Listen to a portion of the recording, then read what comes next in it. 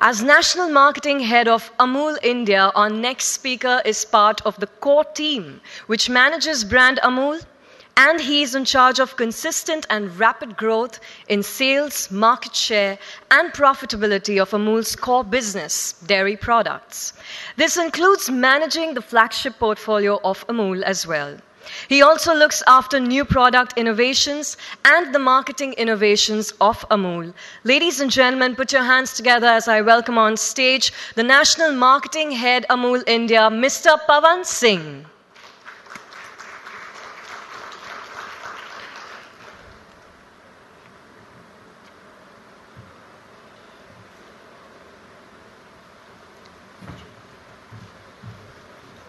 Good evening, friends. Friday evening, 7.45. Last thing I want to do is inflict another presentation on you. So I guess I'll spare you the theory, I'll spare you the jargon. Just tell you a great story. A story about a brand which has received a lot of love, affection in this country. A story of a brand which uh, no Indian needs an introduction to, right? It's a part of India's daily life. It's a 60 year old brand we are celebrating the 60th anniversary of Brand Amul this year, 2016. Let's start with a bit of fun. We've been hearing in the earlier sessions about B2B spaces, B2C businesses. Have you ever heard of a C2C business? Anyone? Well, that's a space in which we operate.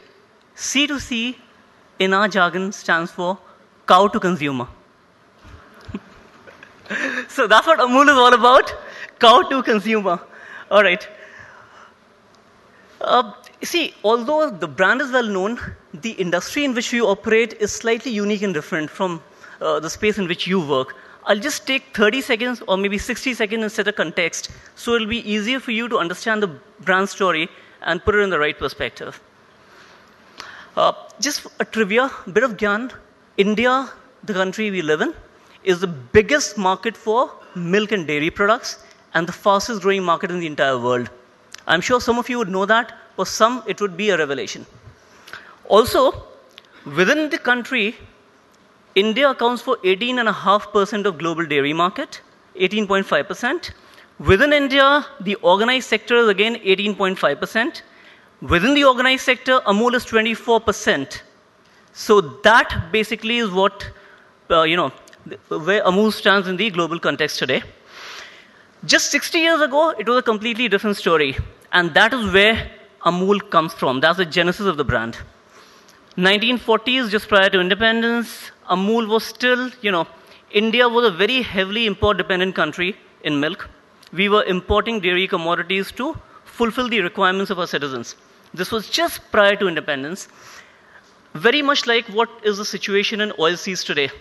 Um, as you know, the milk producers, the farmers of this country, they were relegated to one remote corner of the value chain, thoroughly exploited economically because of the inherent perishability of the commodity that they produce, milk. Just two hours life. In two hours, it'll just go bad.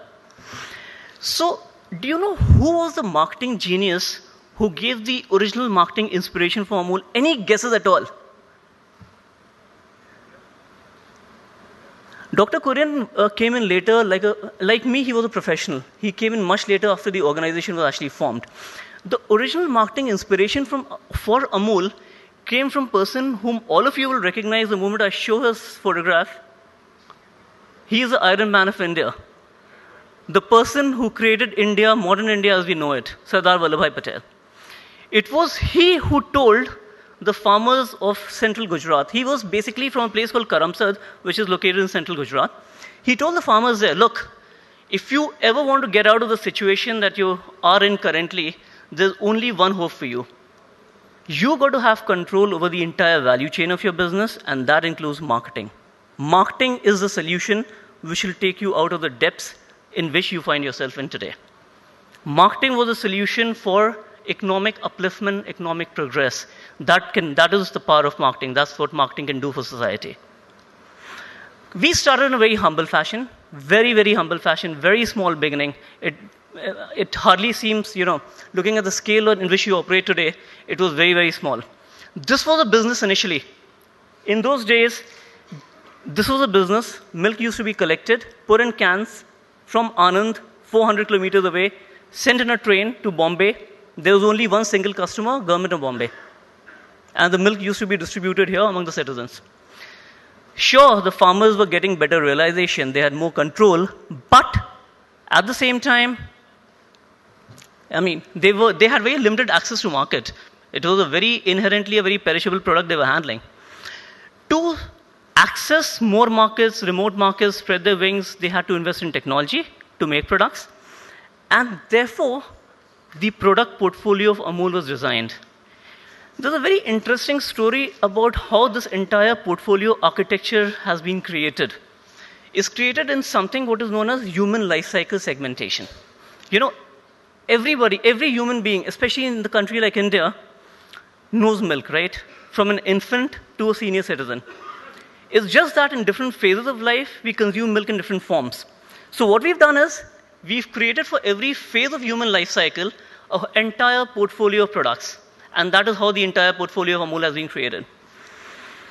Today is a very different scenario, like I said. Last financial, Amul was a 30, Amul Group was a 30,000 crore organization. Um, even every day, as we speak today, today morning, we collected almost 22 million liters of milk. That, on a global scale, puts us at number 10 among the top dairy organizations of the world. Uh, we were number 15 when the official rankings were released two years back. We are still waiting for the latest rankings, but we are at number uh, 10 in the entire world. What is more important is we know where we are heading, and that's right up the top of the list. What worked for us? It was converting a tiny acronym, AMUL, into a brand. A brand that this country fell in love with. When was the brand born? Like I said, we are celebrating 60th anniversary, so it was exactly in 1956 when this brand was born. Right since inception, we actually had a professional structure in place to take care of the brand. The core identity of Brand Amul stems from the basic operating philosophy of the organization, and that is a promise to India, a promise to the consumers of India that they always get the best quality at the most fair and reasonable price. The second part of the promise is also very important to us. We adhere to it. And this core brand identity has been an integral part of all our brand communication for over the last 60 years. I'll just show you some of the initial examples of brand communication stemming from 1950s, 60s. This was still the era of black and white advertising in print. This is one of the first few communications which came out of uh. You can see the core message still remains the same value for money. That is what every communication across 60 years really talks about. Uh, I probably belong to the fourth generation of brand custodians at Amul. And uh, even when I look at the archives, I marvel at the great pioneering creative works that the predecessors had done, especially the first generation led by Dr. Verghese Kurian himself. Some of the early campaigns which came out as 1970s, we went into the era of uh, color advertising. See, today is a new wave thought that, you know, something like butter is great for health. Time magazine had it on its cover just one year back. But way back, 1970s, you can see on the screen, we were actually saying build butter bodies, build better bodies, build butter bodies. Okay? The health platform is something we are trying to acquire way back, what, another 50 years ago? Some of the early pieces of brand communication. Uh, this is what it, uh, advertising looked like in 1970s. As we all aware, 70s, the only media available was the print and out of home. We tried to access the audiovisual medium way back in 1970s. We actually produced the first crowdsourced film in India. I'm sure many of you would have heard of it. If you haven't actually seen it, it was called Manthan. It was based, it was our attempt to take the Amul story to the masses. The spirit, the soul of the organization, what we stand for, who we are, that is what the film was all about. It starred legends, legendary actors, Smita Patil, Nasir Shah, uh, Girish Karnad, directed by Shyam Benegal. It was not a documentary. It was a full-length feature film. The year it was released, it was India's official entry into Oscars.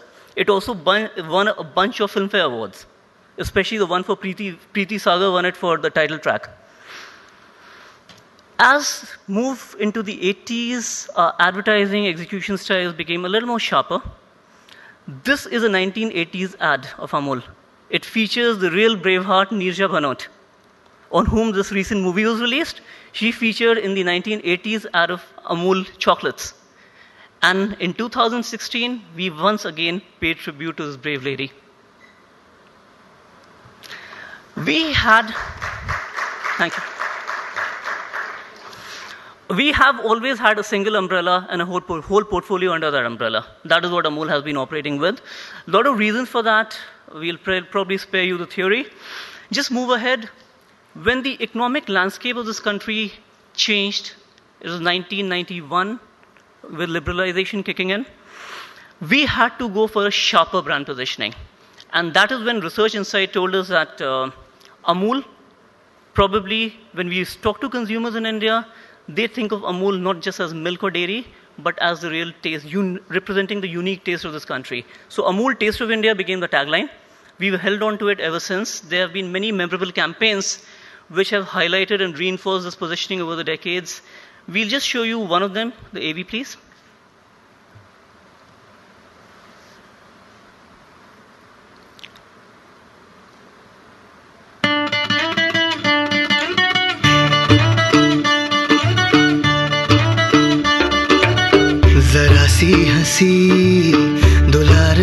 I rasa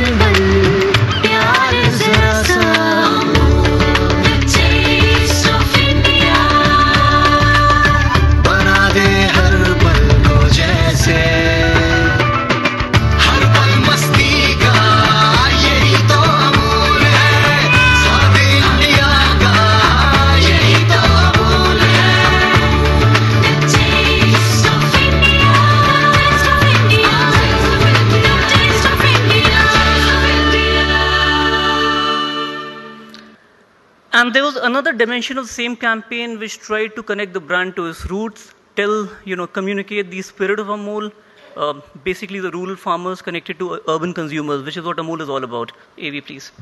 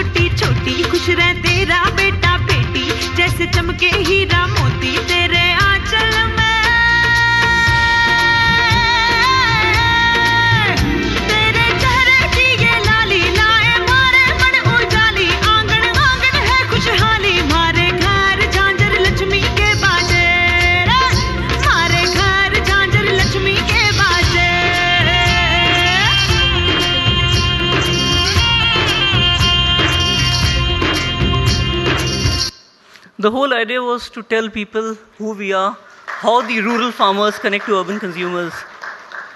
And our icons also change with times, with changing times. You know, this is what Amul was, you know, the way we depicted it. And then came the more popular brand manif- manifestations, the symbols, the icons, which have become very popular today. The Amul Taste of India, the girl. What really worked for us is this little girl she has kept she was born exactly 50 years ago 1966 so for a 50 year old she looks quite young right? And she has kept us young vibrant energetic through all these decades. The campaign based on her went on to achieve you know iconic status. It all started in 1966 this topical campaign started with a few billboards hoardings in bombay. And uh, then it continued. 50 years non-stop week after week sometimes even twice sometimes even thrice a week it all depends on what's happening in the country and the world around us okay And we were commenting on whatever is happening, the most current events, top of mind events, in a most humorous and witty manner, and also trying to sync it with the brand. And that done over 50 years is quite a task. So, we've, in the run up to the Golden Jubilee, and this is the Golden Jubilee of this campaign, in the run up to the Golden Jubilee of this campaign, we actually published two books in the last four years. They're called Amul India and Amul India 2. And if you just flip through those books, you'll get a sense of the entire history of uh, post independence modern India, and in a very you know, humorous way. It's not been recorded anywhere, any book of records, but widely acknowledged as one of the largest or longest running advertising campaigns in out of home. What works for it, clearly, is topical, so is relevant. Is topical, so is top of mind. What the dimensions that we added to it were, you know, the smartness, that touch of humor, and of course, longevity. Done over a period of time, it works wonders. So it has really helped to keep the brand contemporary, fresh, and relevant, and that too over a long period of time five decades. We started with out of home, moved into other media. Today it appears in 28 dailies, national and vernacular, once a week. Uh, it took to digital almost seamlessly. It was almost as if 50 years back, the people who had created the campaign thought there would be digital media coming up 50 years hence. It just went into digital very seamlessly. Did we, the fourth generation of brand custodian, learn anything from the success of this campaign? Yes, we did. We learned that something has been working right for us, don't tinker around with it. That was the first lesson we learned. Second thing we learned is that keep on doing the same thing if it's good over a long period of time, it definitely delivers, right? So consistency has been one of the keys to Amul's success as far as the marketing space goes. What has also helped is stability. Uh, I uh, saw Mr. Shashi Sinha somewhere in this audience some time back. I believe he is, you know, a veteran of the industry, of course. And Amul was the first assignment when he started his professional career way back as a trainee, and he's, you know, been with the brand ever since. There have been uh, people who spent more than 30, 35 years working on this brand, nurturing it, reinforcing it. So, but that's not the only thing we do in out of home. We keep on loo- looking for new touch points, new avenues which are different from what people have tried before. Railway locomotives, for example. I don't think anyone has tried that before, right? so the, the you know the first generation of brand custodians they had done such marvelous work a lot of pioneering work in the era that uh, you know not many of us are familiar with today in the good old days of doordarshan there was used to be siddharth basu's quiz time Anybody remembers that? Yeah. So that was the first. This this uh, GK trivia. It was the first sponsored program on Indian television. Okay, Amul was a part of the. Uh, I mean, one of the sponsors. Surabhi, again, this was Doordarshan in the mid early 90s. It was the first branded program in Indian television. And on the Star Network Amul India show around the same time, mid early mid uh, early 90s, was the first branded program on the Star Network in India. Just look at how the advertising for Amul has evolved. In the early years, we used to advertise milk in print, mostly on purity, mostly on the natural aspect of milk. Then we found that, you know, if you're a 60 year old brand, the biggest challenge we face is there's a new generation coming along every few years. No, we need to ensure they also connect to the brand in the same way the parents, the grandparents had done. So that's quite a challenge actually. And milk, oh God, is boring white fluid, right? Who would think milk would be trendy? So to connect with every new generation, we had to really do, try and attempt an image makeover of milk. And we try and doing that. Try and make it something which is a little more appealing, especially to the younger generation. And our campaigns also evolved in that direction. Can we see this AV, please?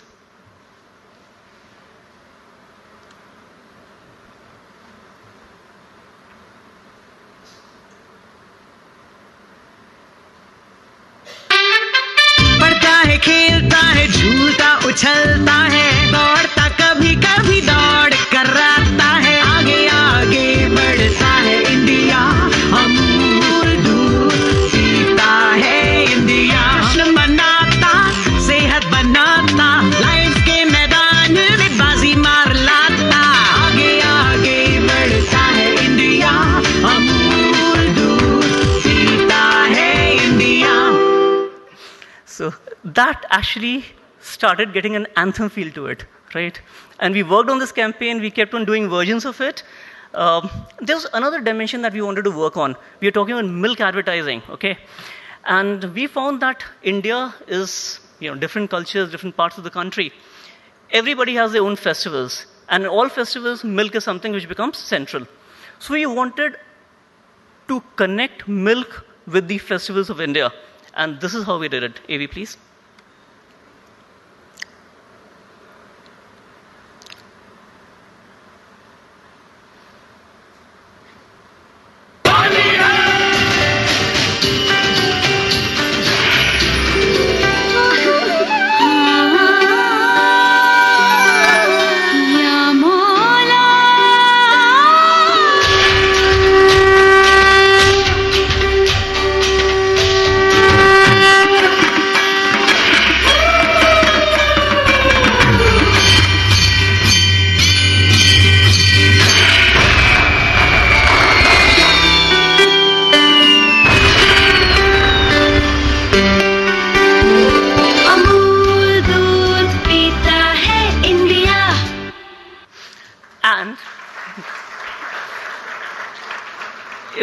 Challenge was how to connect milk to the younger generation, we started focusing very heavily on sporting events, events which brought, you know, national pride to the country.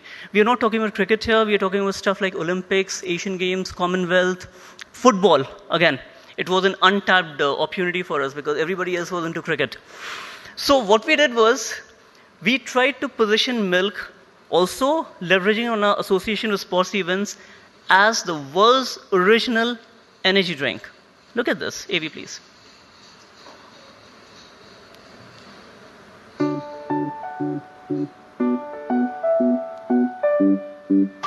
You fly, you try, taking strides higher and higher, reaching for the sky, running, jumping, flying higher.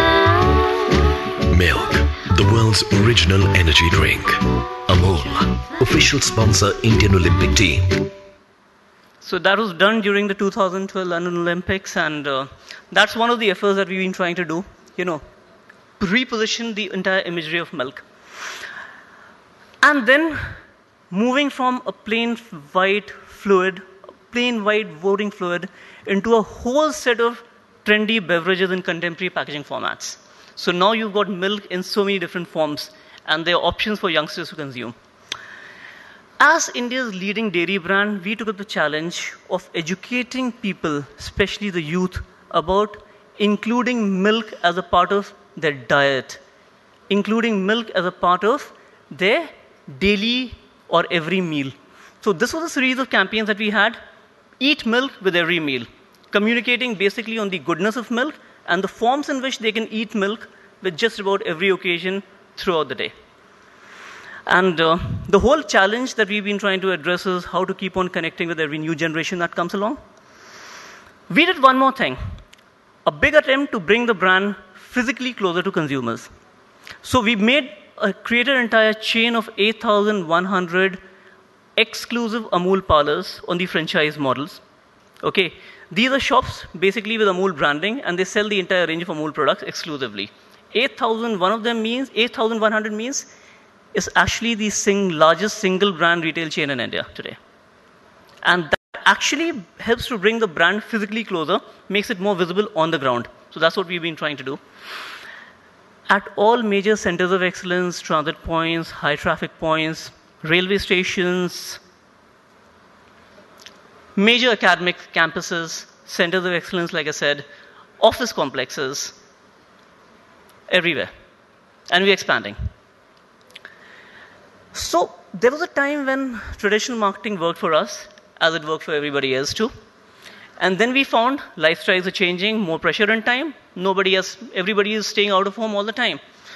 No time to, you know, basically watch TV, read newspapers, and the world started changing around us. You know, everybody was transfixed to the device in their hands. And that's the reality of today. We all do that, right? So when everybody carries their own media in their own hands 24 by 7, we also had to evolve in sync with the changing times. We sensed that there was an opportunity for deeper two way interaction to engage with our customers, and that's what we did. How did we evolve? One is we immediately we took our extend, you know, our current popular campaigns into the online space. So the topicals became a big hit overnight. It, we, what we do is we first release it on digital first, you know, on all the social media channels owned by the brand, and then we take it to print and then out of home now. So the sequence has changed completely. And we get a lot of feedback. Some of them become very popular, some of them give us a lot of traction. We use technology for consumer activations, you know, giving them a chance to express themselves, you know, with the interplay and the brand. So selfie contest, you know, express themselves creatively, the way they use Amul as a part of their daily routine. We get customers to even vote for their favorite topical. So these are some of the activations we do. Try and you know have a better engagement, deeper engagement, two-way interaction. We use technology for trade activations, and that is something that uh, was probably something pioneering that we did. You know which tool we used among all the digital social media tools available for trade activations? What we found would be the best. WhatsApp, absolutely. So all our visibility drives, displays, everything in retail, and we deal with millions of retail shops across the country. So that number can be managed only with this. So display schemes, display contests, you know, interacting with trade partners, channel partners across the country in huge numbers through WhatsApp. WhatsApp worked for us here. We get, we launch, we keep on coming with new products. We launched almost 40 in the last two and a half years. Every time we do that, we get instant feedback on Twitter, on Facebook, on the other channels. We get to know what is happening to, the, to our new launch, what is happening to a new offering, what are the reactions, and they come very quickly. Every time we have uh, um, every time we have any new launch coming up, we do the announcements. Also, digital gives us that facility of sharp precision targeting. Other media we found comparatively have a lot of spillover. Digital allows for very sharp, high precision targeting.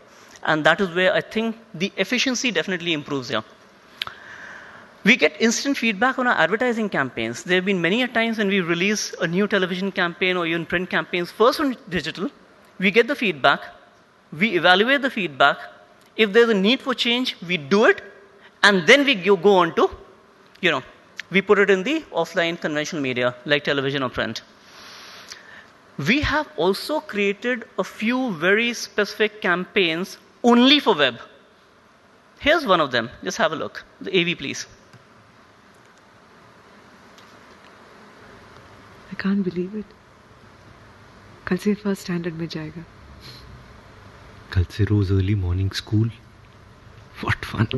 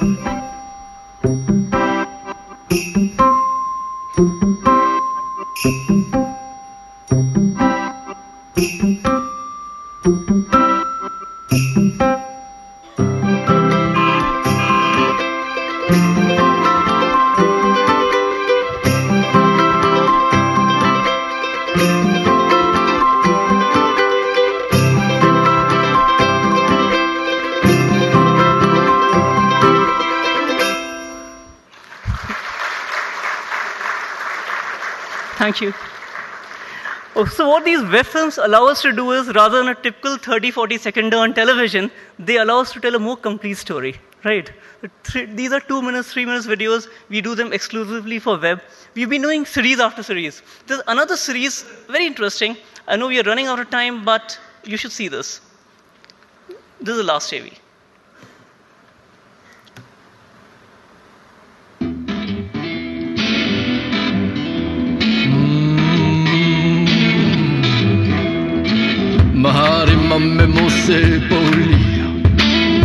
सच ले सवर ले। पंठन जा जरा। Tip कर ले। तुम्हारी mummy मुझसे बोली जरा सच ले सवर ले। पंठन जा जरा। टिप कर ले। तेवर बेवर देखते छोटी सी उम्र में एटीट्यूड देख रहा इतनी सी उम्र में। मैं बोली, माँ, मेरी बोली, एक गुण जरा चख के देख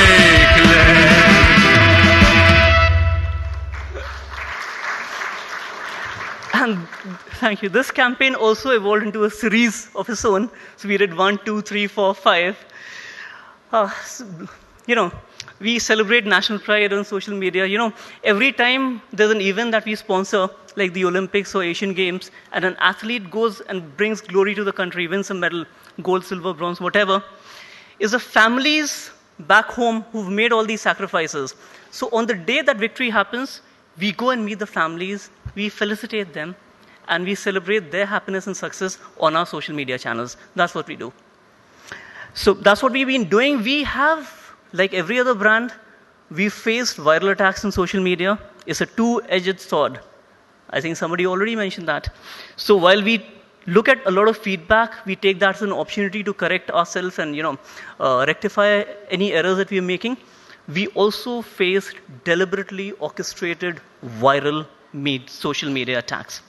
So what do we do? A typical response would be to lie low, let it die down. You don't really want negative to be in the negative space, right? We don't do that. If there's a deli- we find and establish beyond doubt that there's a deliberate dissemination of you know disinformation campaign happening, we take a stand. We use basically the same media and use the same media to give out the right information, and that's what we've done, and that's what we're known for. And of course, so what, just to summarize, what has really worked for us all these years? What's really worked is, you know, we've never overpromised. The brand has always study, stayed away from overpromising. We've promised reasonably, and we've then delivered on our promise. And then done that consistently over a long period of time, allowing trust to build up. That is what has worked for us. Second is, of course, consistency. And that is, is one takeaway from this consistency over a long period of time delivers, it works.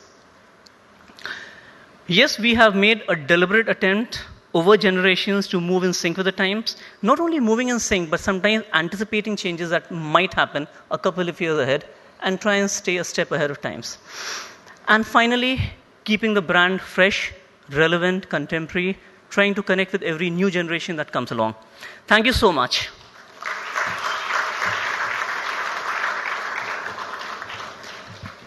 Thank you so much, Mr. Singh. Please stay with me on stage. Thank you for refreshing memories of the Amul story. Thank you very much. I'd like to invite on stage Mr. S. Yesudas, MD and co-founder, Trigger Bridge, the Unagency, to please come on stage and give away the memento. Ladies and gentlemen, let's put our hands together for Mr. Singh and the Amul story.